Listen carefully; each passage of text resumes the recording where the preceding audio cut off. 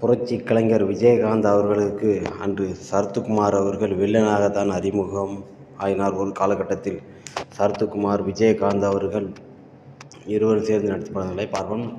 அதில் விஜயகாந்த் அவர்களுக்கு சரத்குமார் அவர்கள் பல படத்தில் வில்லனாக நடித்துள்ளார். முதல் படமான புலன் விசாரணை ஆயிரத்தி தொள்ளாயிரத்தி தொண்ணூறு ஆர்கே செல்வமணி இயக்கியுள்ளார். இதை இப்ராம் ராய் தயாரித்துள்ளார். இப்படத்தை அடுத்த படம் புது பாடகன் இப்படத்தை கலைப்புலி தானு இயக்கியுள்ளார். இது மலேசியா வாசுதேவன் இளையராஜா. அடுத்து எங்கிட்ட மோதாதே ஆர். எஸ். சுந்தராஜன் இப்படத்தை இயக்கியுள்ளார். இளையராஜா இசையமைத்துள்ளார். மலேசியா வாசுதேவன். சந்தன காட்டு ஆயிரத்தி தொள்ளாயிரத்தி தொண்ணூறில் ரிலீஸ் ஆச்சு. மணிவண்ணன் இயக்கிய படம். இப்படத்தில் சங்கர் அவர்கள் இயக்கியுள்ளார். இசை சங்கர் கணேசன் அவர்களும்.